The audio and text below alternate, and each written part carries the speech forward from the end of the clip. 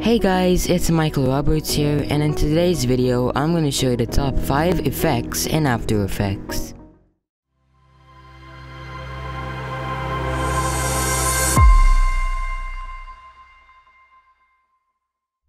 Okay guys, to start off our first effect, what we're going to be doing is opening up After Effects. And next, as you can see, our um our actual clip is loaded already.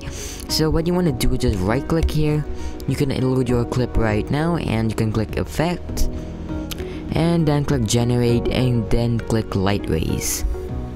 Now this is pretty cool because you can position this in any way you want.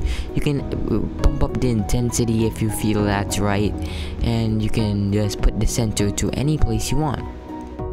So I'm just gonna go back to the beginning of my clip, click on center and place that where the sun might be leaking out of.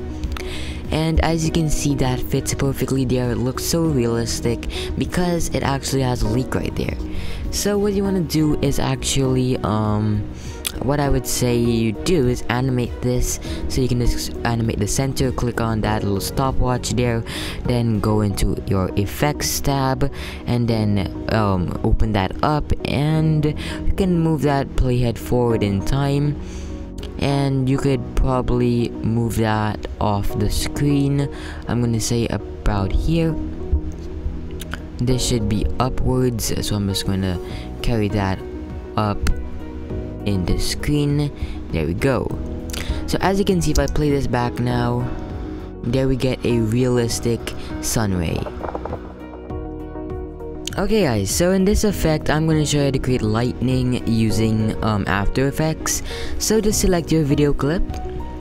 Now after you do that, you want to right click here and select Effect. And then you're going to go down and select Obsolete. And then select Lightning. As you can see, a whole set of menus came up here and as you can see, the lightning flash appeared on our screen. So let's select this little anchor point to position the start point.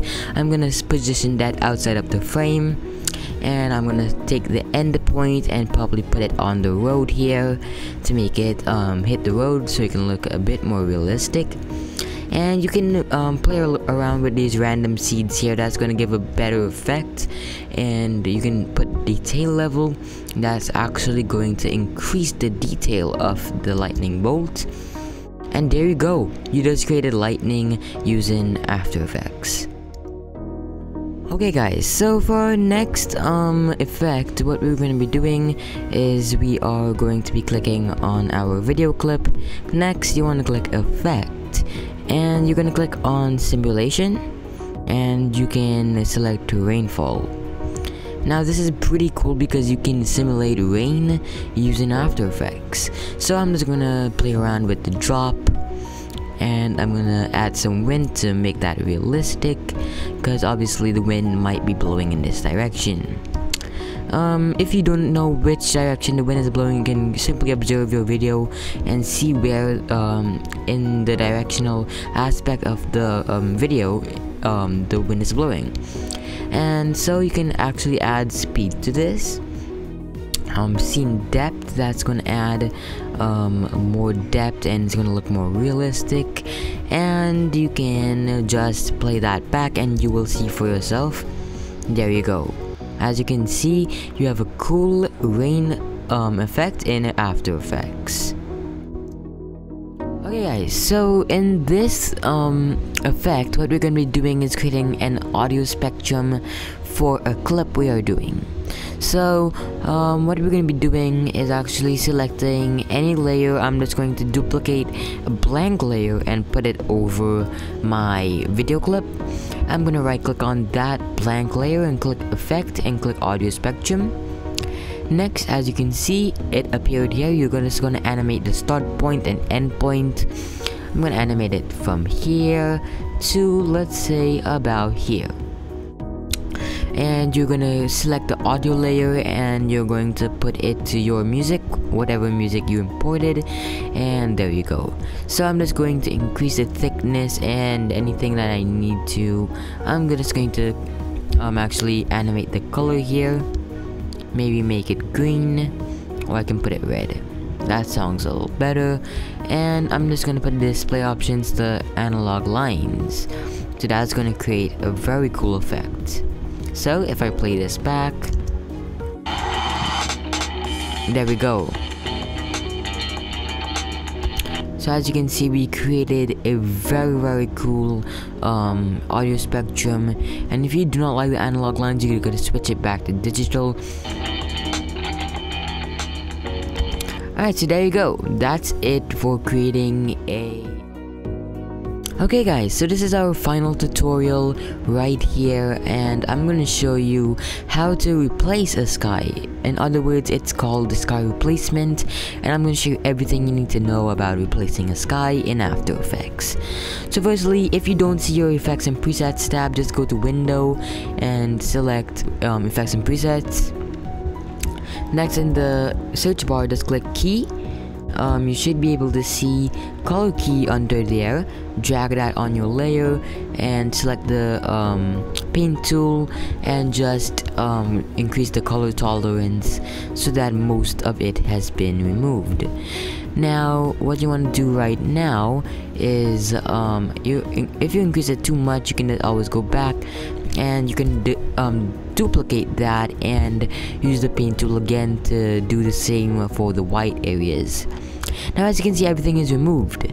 Now what you want to do is duplicate the video layer and delete the color keys from them. And as you can see our clip went back to normal. Now select the pen tool and just easily mask out this area here.